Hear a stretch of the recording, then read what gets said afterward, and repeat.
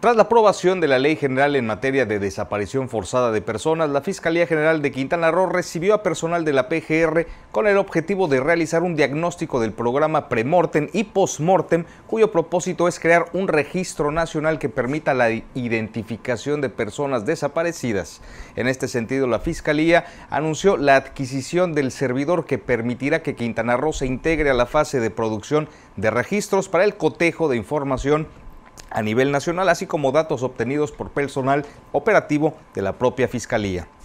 El registro premortem se realiza mediante un cuestionario realizado a familiares de personas reportadas como desaparecidas, mientras que el registro postmortem se conforma con base en seis disciplinas, medicina legal, odontología forense, antropología forense, arqueología, genética y dactiloscopía para la identificación total.